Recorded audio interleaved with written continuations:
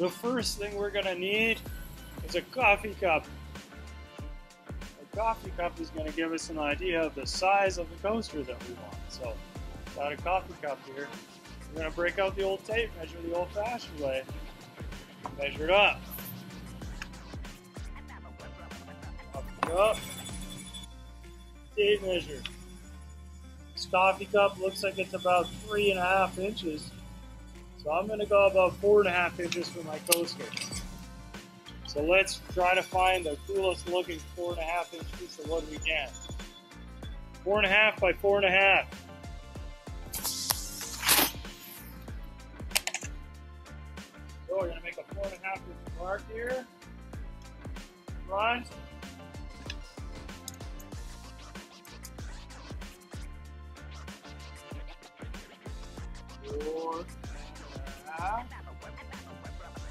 Marking it on the front so that I can find it with my table saw blade. Grab my square. Square it. Waste mark on the outside. I'm going to keep this part. I'm going to check and make sure this is square on the end. It looks great. Fantastic. Not so much on this side.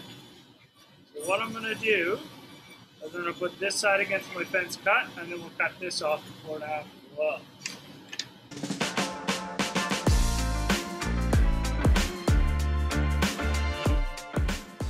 So next thing we need is some fancy colors to make this thing look better. Here we go.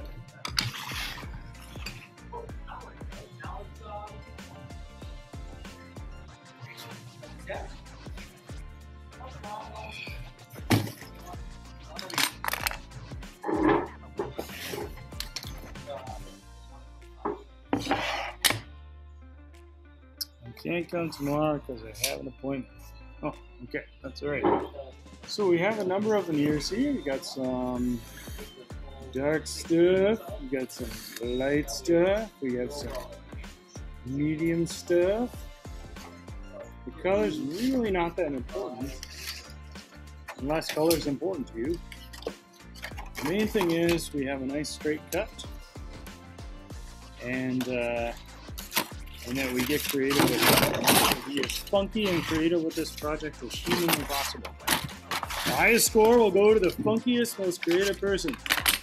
So, tools for this project. You're going to need a utility knife. I'm not going to provide one to you. If you want to hurt yourself, you're going to have to ask your parents. So this old knife is kind of old. You're going to get a new one. The sharper, the better.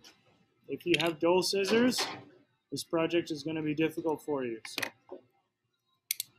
I'm going to use just as much blade as I need. I got a ruler for a straight edge. And the first thing I'm going to do is make a straight edge. So, straight edge time.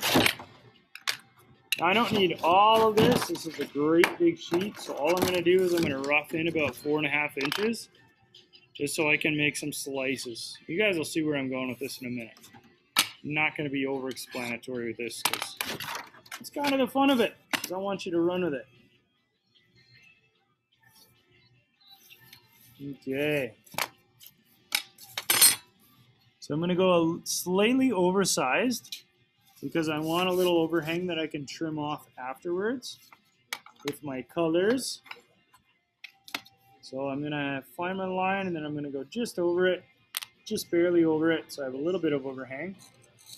And then I'm going to cut along the grain very carefully. You notice I have scrap wood underneath. Drop your knife. Make sure you're wearing uh, sandals like Daniela, so that when you drop your knife, you stab yourself in the toe. Okay, now I have something roughly the size of my coaster. I'm going to take my knife again. I have a nice straight edge here, luckily. But if you don't have a straight edge, you can create a straight edge very easily with your knife again. You're going to zip a little piece off. That wasn't very straight at all. Okay, so the issue with this is it likes to follow the grain. So if you have a look at the edge I just cut, it's very crooked. So what you want to do is you want to get away from that grain if you can. This is where the creativity comes in. I'm going to go at an angle, and I'm going to score it first. and I'm going to keep making light passes. If I try to cut too deep at once, I won't end up with a straight edge. Now I have a straight edge. So avoid the cut immediately straight through the wood because it wants to follow the grain. You end up with this cut. If you score your piece first and make multiple cuts, you're going to get a much straighter cut. Plus, this angled cut is beauty because now I'm going to cut another angle and you'll see where this is going in just a minute. So I've scored this multiple times. And now I place it on my coaster and the magic begins. So I'm gonna start making a cool, funky design with my coaster. I'm gonna take a lighter piece and I'm gonna get some links out of that. Now be gentle with your pieces. If we are, you know, chucking them around and rammy and whatnot, what you're gonna end up with is a bunch of shattered, broken, splintered veneers. Anybody want to guess how we get this out of a tree? We learned this in grade 11. Grade 12. Anybody know how we make veneers? A couple ways to make veneers. You can slice it with a giant knife, or we can turn the log and peel it off. That's kind of cool. So here we got veneers. Okay. So my next cut, make sure I have a straight edge to work with. This one looks straight check it with my straight edge. Now I'm going to make a new cut at another angle because funky is good. Go crazy with this. There's uh, many different ways to do this. You can make a checkerboard, chessboard pattern. You can you can go all different ways with this. Just make sure you have scrap wood underneath. So you can sort of see this is kind of taking shape now. All I'm doing is I'm lining up my straight edges and I'm allowing the wood to, to do the creativity for me. I'm going to take my boring medium brown cherry and I'm going to, no, I already used cherry. My next piece is going to be out of black walnut.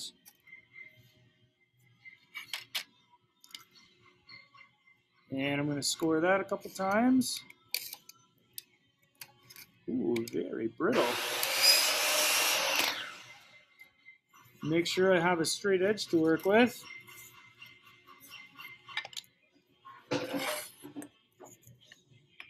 By zipping off a couple of straight edges here. Oh. So it really wants to follow the grain, so I'm going to lightly score the edge until I eventually make my way through. There we go. Turn it around and score my edge again at a different angle.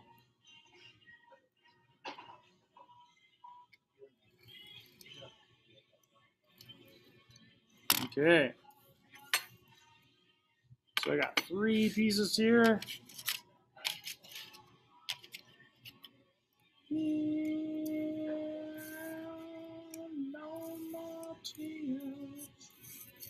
So like I say, pattern doesn't matter. It's all up to you. Just make sure you have a little overhang. And you can see where I'm going with this. I'm making a I'm making a little something something here. Not sure yet. I'm just letting the wood decide. Just like Michelangelo. Just kidding. We have nothing in common. He was a genius. Okay.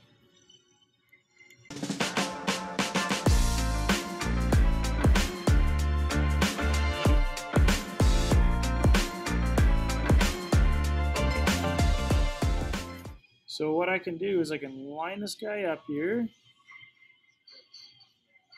I can roughly find the width I need and I can make a little pencil mark where I want to cut it top and bottom. Like I say, exact, it's not an exact science because we're going to trim the outside of this with a flush cut bit after we glue it. So I don't want you to worry too much about being exact. All I want you guys to do is have fun with this. So a flush cut bit is a router bit with a bearing on it that allows you to cut the edges off of a project like this without cutting the, the project itself. It's got a little bearing on it that rides on the, on the MDF core. So we'll show you that tomorrow after I pull this thing out of the clamps. We're going to need to hold this together for when we go to glue it. Plus, we don't want the glue popping through. Okay, so green painter's tape because it, doesn't hold super strong, so it won't ruin the wood. Um, it won't stay behind, hopefully. That's the goal. So there's a couple different ways to do this. The way that I like to do it is, uh, is I'm actually going to tape, roughly just take down my very first piece so it doesn't move. And then from there, I'm going to I'm going to get it roughly where I need it with maybe a little bit of overhang. I'm just going to tape it in place, just temporarily. And then what I'm going to do is I'm going to get a piece long enough. So I got a piece of tape on my seam. So part of it is under this piece. I'll turn down my camera here. Part of it is part of the tape is under this piece, and part of the tape is going to be under my next piece. And the really important part here, you notice that's why it's important to get a really straight line so that when you glue this together, there's no seams, there's no gaps. And that's what we're gonna try to do here, is line this up just so. Now it's kind of wiggling, so I'm gonna retape this at the beginning.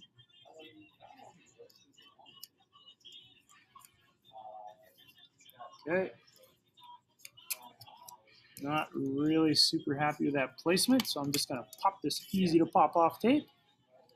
I'm going to line it up a little bit better. There we go. Long in front, used to be. Okay.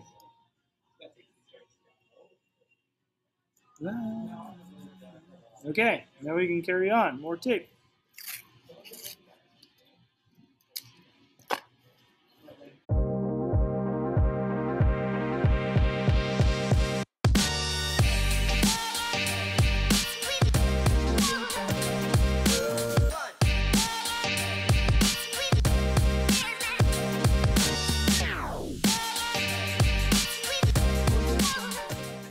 Now keep in mind, this isn't what I'm going to see.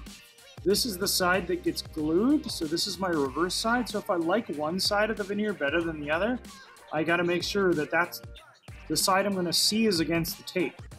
In this case, I don't care, like it all looks pretty good, but just keep that in mind that when we take, take the tape off, that's the side we're going to see.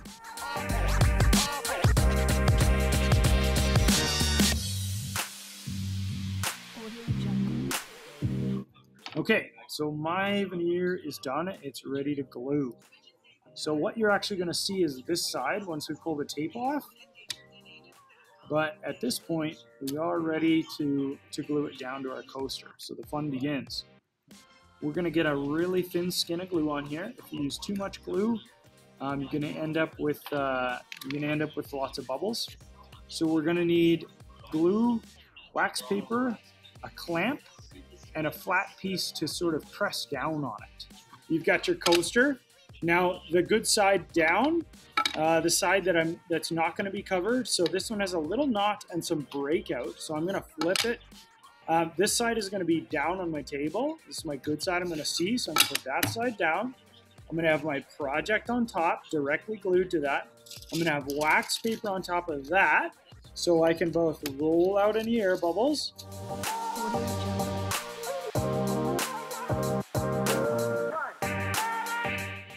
Nobody wants a bumpy coaster. Your coffee cup's gonna fall over and ruin your table.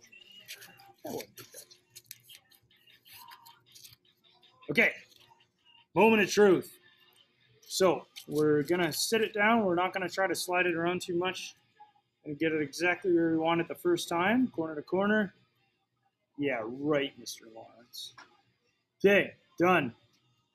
Now I'm gonna trim this, so I'm not too worried about the position.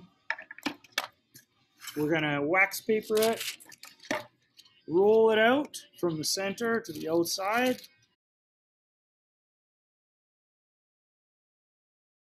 Flex, this thing is already curling on me, so we're gonna get it that. This, uh, keep messing around, Mr. Lawrence, and see how this thing ends up. Okay, thank you.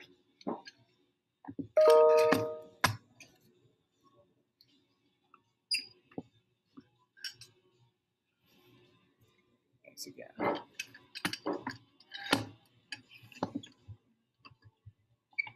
There we go. Okay. So I'm going to work back and forth, clamp to clamp, so I get nice even pressure. And make sure you clamp it somewhere where your parents aren't going to go, why did you clamp that there? We have to eat dinner.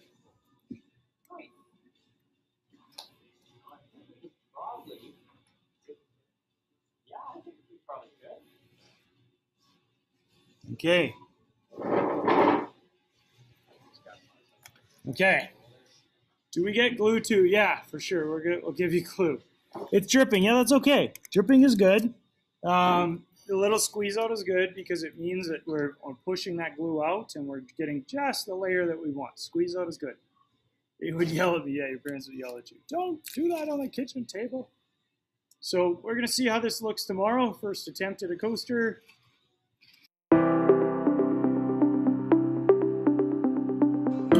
Afternoon.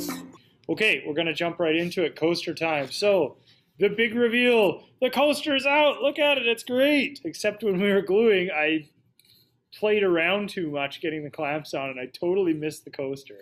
So that's fine. We've got a big gap. But the rest looks kind of cool. So what we're going to do is we're going to trim it. We're going to take off all these ugly edges of the glue and the extra veneer. And we're going to, uh, oh, you may likes it. Good. So you can make one of these too, very simply, very easily. And by the end of this class, this thing is going to look very nice, very professional.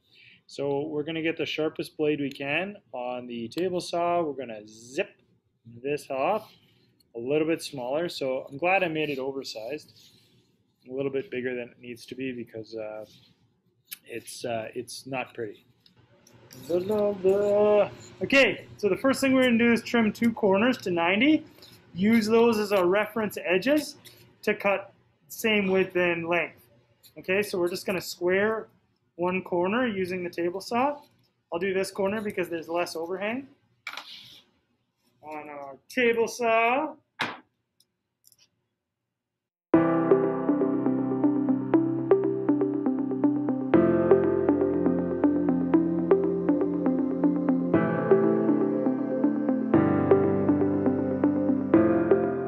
Okay, so our surface is pretty nice. I think we're okay there.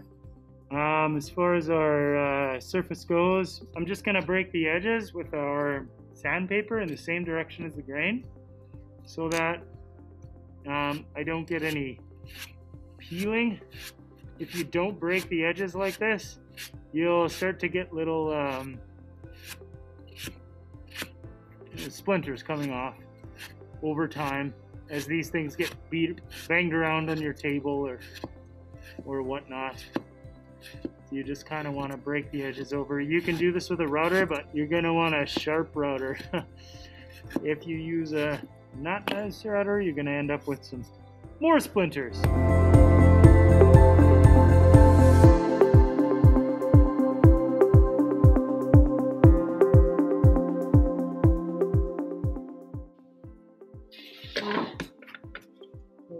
Steady.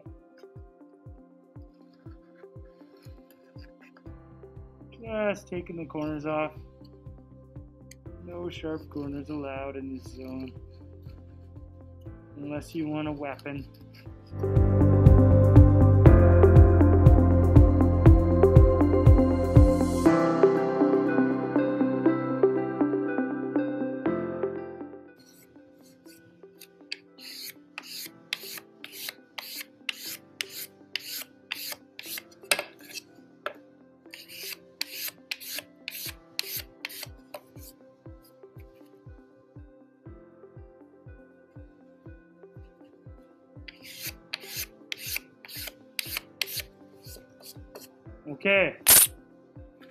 Good. Things all cleaned up. All the corners are taken off. It passes the old finger test.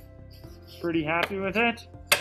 Let's uh, clean it up and put some oil in this thing. So, I mean, it's MDF core on the side. It's not that nice to look at. It's a coaster. It's going to get beat up. But I, ideally, if you wanted to, um, you could uh, you could mill up some some softwood this thin and, and use that as your base the thing about it is with it with a solid wood, you're taking a chance on it warping.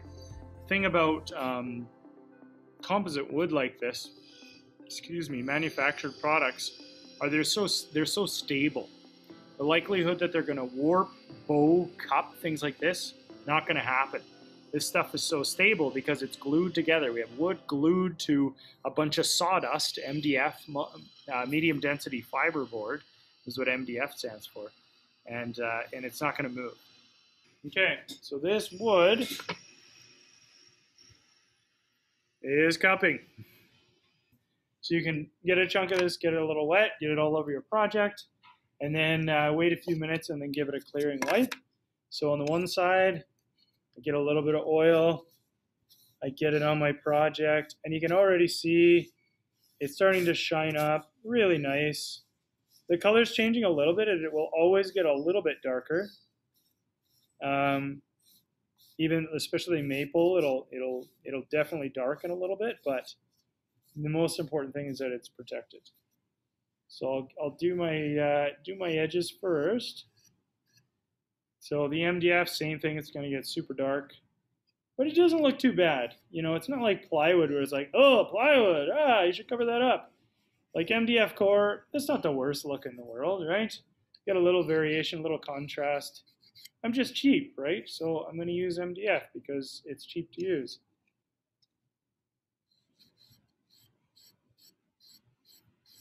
So beyond a rag, your other option is a brush. I like to use foam brushes because I can throw them out. We're not exactly going to clean up a brush that has poly in it because um, poly is oil based and it doesn't wash out very nice. It just gets sticky. So don't try to wash these with water. You can just chuck them after. So the other one I like to use is a foam brush because we like to uh, we like to go we like to wipe in the direction of the grain. And uh, and man, oh man, are you guys seeing what I'm seeing? Okay, before and after, all right? Ooh, look at that gloss. Isn't that sweet? Right? So now we're talking. Now we've got a cool looking coaster right here. So you let it sit a little bit. Let that stuff soak in. Don't just wipe it up right away. You're going to want to let that soak. Now, if you do have a lint-free staining cloth, even better, because lint will stay behind. Again, it's a coaster. Not too worried, but if you can get something really clean to uh, to wipe to do your final wipe with, all the better.